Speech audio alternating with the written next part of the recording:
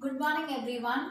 We are going to slowly progress towards Surya Namaskar. So I will be breaking the postures in two videos like the first few postures in one video and the next set of postures in the second video.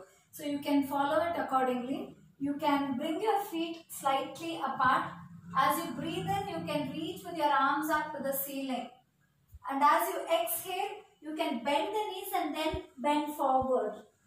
Slowly from here, you can repeat this movement a couple of times. Inhale, taking the arms up.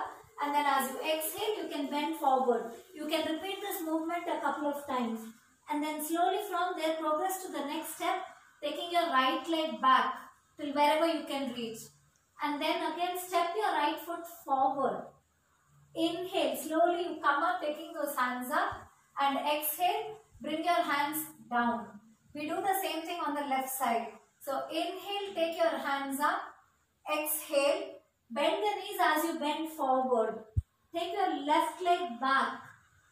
And again, step your left foot forward. Inhale, take your arms up. And exhale, lower your hands down. So this is one part of the video.